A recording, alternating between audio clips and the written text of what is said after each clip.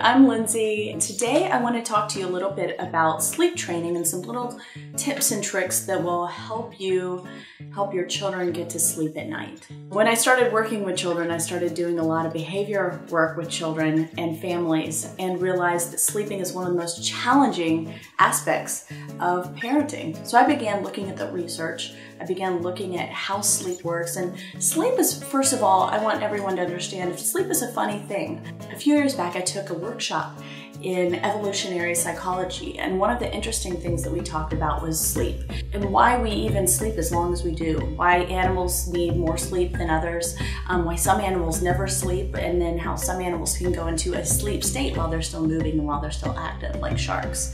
And one thing that we found that was really interesting was the case of this woman who only slept one to two hours a night, and that was really all of the rest that she needed. And then here she was 22 hours of the day, active and functional and feeling well rested.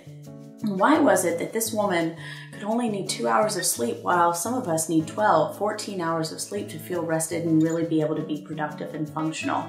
And one of the findings of the research completed on, on this sleep psychology was uh, the biological aspect, the fact that it was dangerous to be up you know, years ago at night. There were no lights. There were a lot of wild animals that were a danger to us. And so one of the purposes of sleep was actually a manual shutdown because we're not safe at night. So at night, it was important for us to be in a place where we were with people um, and others who could support us and protect us. It was to sort of force us to stop for a little while. Another biological reason is for your bodily repair, that maybe you don't necessarily need uh, mental uh, rest. However, your body needs time to heal needs time to repair. And so that was one of the reasons for sleep. And then lastly, when we really look at sleep, and again, if there are any uh, specialists out there who can correct me, please do. This is only from the research and the experience that I've had.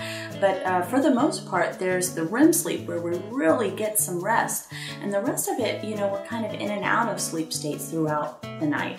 And we're not really in that place where we're getting repair done. So again, different bodies need different things. And I think it's so important when you're looking at yourself and your children to recognize how much does my child really need in order to feel good and for you to not assume, uh, you know, I, I read in the book or I looked online and nine hours is the appropriate amount of sleep. So I'm going to assume my child, if they're not getting nine hours of sleep, they're not rested.